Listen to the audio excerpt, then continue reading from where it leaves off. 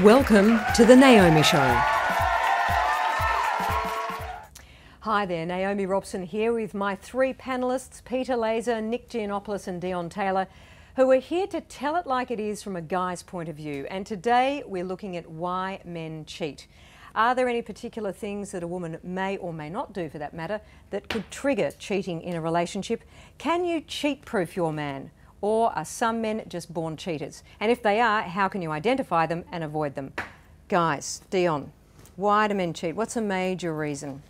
Um, well, I've seen this from both sides of the fence. So, as a male and seeing it from females, we cheat for probably the same reasons. Um, it could just be unhappy. Um, there isn't really a major point. It's it's the whole relationship as one.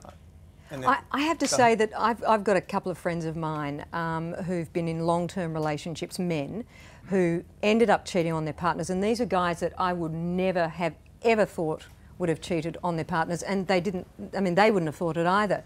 But what they all said was the trigger for them was that sex stopped with their partners or became completely non existent, virtually non existent. And they also felt that they weren't needed anymore, that they weren't really a valuable part of the Did relationship. kids? They felt left out. I think it's a symptom. uh, It's the result of intrinsic problems in the relationship. Of course. You know, be it um, sex. I don't think it's a, just a, a something that guys would do, or girls for that matter, would do just for the sake of it. It's something that's obviously stemming. Mm. So you would say there aren't some guys who are just they're born cheaters? some people, yeah. I think some people there are. I mean, if definitely. leopards can't change their spots, neither can cheaters. So Yeah. I'm sure that once they are, they always are, and that's pretty much you know as a general rule, that's what they do. And and look, uh, what worries me are the, the girls who take cheaters back. Yeah. That should never happen. If a woman never took a cheater back, and I know it's a very simplistic way of looking at it. Oh, it's a great but great if they advice. never took a cheater back and it never happened, ninety-five percent of guys wouldn't do it. That Yeah. is really good advice. Yeah. Very, very straightforward. It- do, do not take them back. I mean, you don't want.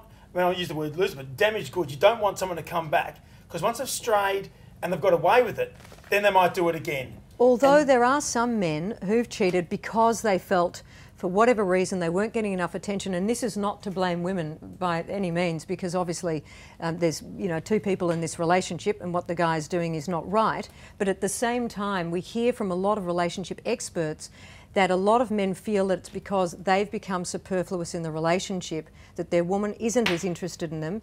And that sort of triggered them to look around a bit. Well, I wouldn't want to be Nick, callous. Nick, what would you say about that?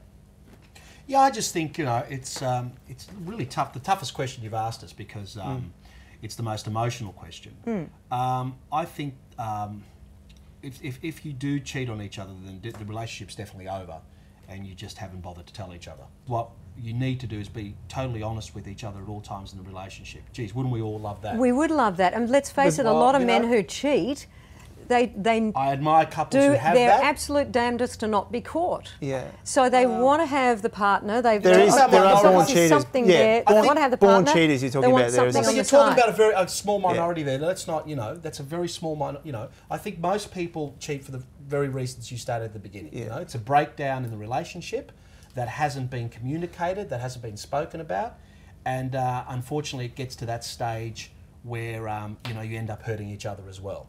You know? Dion, you wanted to say Yeah, I was just saying, uh, y- your cheaters, you can you can separate your cheater, your born cheaters, from your relationship cheaters, I guess, in a way. And that's pretty much at the start of the relationship. You can see whether the man is a cheater in the way his lifestyle is. So if he's got no commitments, if he's got a two-door convertible. I don't know about that. I- I don't reckon the car you drive or. No, I'm the saying I'm not using it as a car you drive. No, no, I'm just saying as a. But I'm just saying, I, I reckon, I- I reckon. It's a, I mean, as you say, it's a very emotional question, and it's more to do with you've got to get to the stage where you can discuss your relationship first before you even feel of cheating, or before you think that the, the guy would. Like again, if it comes down to sex, if you usually have it all the time and then you're not, well then something's wrong. If you Yep. usually have three or four nights together and then you have one or maybe none at all, then there's problems. Those are all indicative sort of factors that you can actually work on and get right.